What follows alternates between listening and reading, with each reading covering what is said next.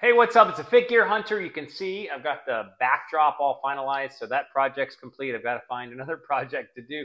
Uh, little new additions up top, not really a whole lot changed on the little shelving thing, but all that's done. And what we're going to do today is when the first Fenix 7 Pro series came out, and I tested the heart rate sensor, the new Elevate 5.0, it was clear that it was de- definitively more accurate than the Elevate 4.0 that was on the original Fenix 7X line of watches. And it made me start to wonder. So, you know, the, the Elevate on the 7 original 7 series line of watches was good, but not great. But the new Elevate 5.0 was great, especially when doing high intensity interval training or CrossFit training. So it made me really question and wonder, especially because there's such a big gap in price now with the sales on the original 7 series versus the new Pro series. It made me wonder well, does this flow through to the wellness analysis or the results, like the numerical results that might give you guidance on how recovered you are and how good your sleep was and your body battery rejuvenation throughout the day. So for the over the last 2 weeks or more than 2 weeks I've been testing the 7X Pro versus the 7X Original, keeping the 7X Original disconnected from the phone so that I could evaluate are they going to give different results? Because one has a newer heart rate sensor, and both of them rely on the heart rate sensor for analytical analysis or recommendations for each of those areas. So, this would apply to any of the Fenix 7 series line of watches, the 7 series line of watches whether it's the 7X, the 7, or the 7S, whether it's the Pro or the non Pro, all of them provide the same analytical value. Additionally, tomorrow I'm going to release a video on what are the real world differences or economic value differences between the 7 Series original and the 7 Series Pro because this also sheds light on it. So we're going to look at a number of charts across 17 different days for the heart rate variability heart rate variability nightly, the average that came from that, the body battery rejuvenation nightly and throughout the day as it sort of summarizes, the sleep score, and the training readiness score. Additionally, I just thought it'd be fun to sort of compare if there's any net differences in the workout analysis. We know the Pro Series has a better heart rate sensor, so and with both of them, you should wear a chest strap, but you definitely should wear a chest strap if you're doing high intensity interval training or CrossFit or something strenuous like that with the original 7 series. But what if we have a chest strap connected to both of them? Are there any numerical value differences between the two? So we're going to look at that second. But first, we're going to look at the wellness, recovery, sleep, body battery, all of those stats across 17 days, looking at what variety of differences, if there are any, between the two watches. Let's dive in. All right, so here you have the nightly HRV, heart rate variability. This is just a single snapshot of the last night's heart rate variability across you know, the average across just that one night.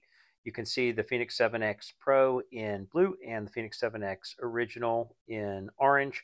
You can see there's only a minor variety of nights that had any kind of even visibly detectable difference in data. So all this just means as a primary metric, as HRV is a primary metric, and the nightly measurement determines the averages, which goes into any recommendations, they are completely lined up for the most part, other than you know a couple nights where there was like a four point difference or something like that. So of course the nightly averages are going to match up. So I'm not sure why there's you know a one point difference in some of these nights, but there's about a one point difference. There's only one point in time when there was a two point difference, but otherwise they're within one point of each other. So it's again, it's going to be consistent with a general recommendation, which is going to flow through to the other metrics.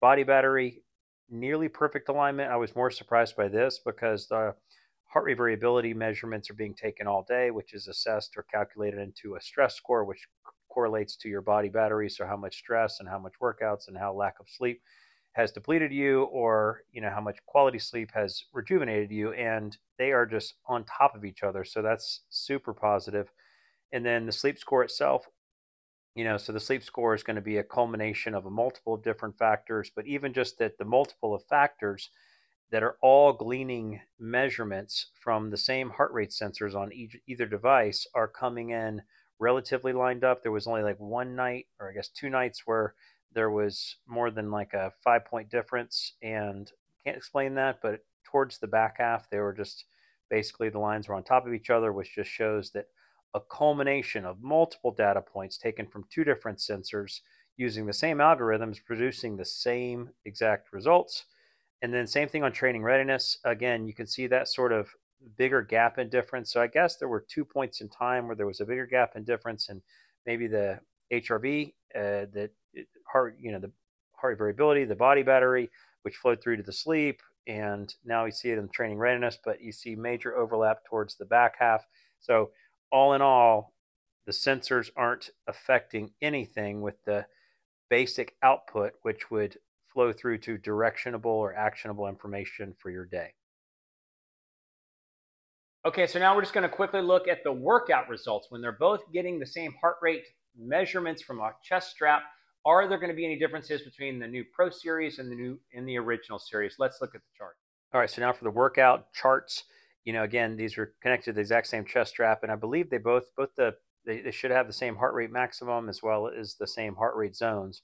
You can see aerobic training effect is basically one on top of each other.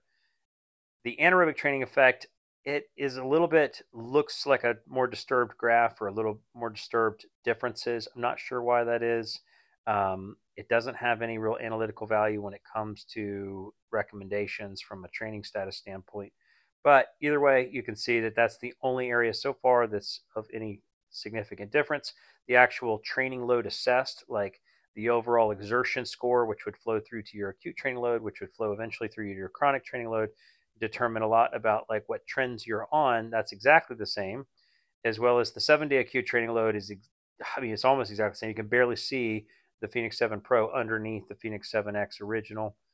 And then the recovery time. So only one one minor difference, and everything else was just complete overlap, exact same numbers. So again, across all of them, the workout analytics are almost exactly the same if you are getting the same heart rate data information in. So you got to use a chest strap if you are on an older, uh, the older Fenix 7 series. All right, and there you have it. So when you look primarily at the wellness and recovery and sleep analytics that are coming off both watches, they are definitely within line with each other. So there might be some nuanced differences on a single night of data that isn't that statistically different when it comes to what you might take away from it, like a 48 on a body battery versus a 52, or a you know training readiness of 34 versus 31. It's not going to change probably how you're going to approach things, other than more broadly giving you direction. So I'm going to do a full updated, more in-depth comparison review of the Garmin Fenix 7X Pro versus the Garmin Fenix 7X Original. Now taking all this information, so that'll come out tomorrow. So stay tuned for that. But for now, we can see that the data, like the actual wellness analysis is not that different. Or I would say the wellness and recovery and sleep analysis is not different between the new sensor on the Fenix 7X Pro and the original that you would just have for at a much cheaper price point than today's you know going rate on the market. So with that, it's a Gear Hunter. Thanks so much for watching.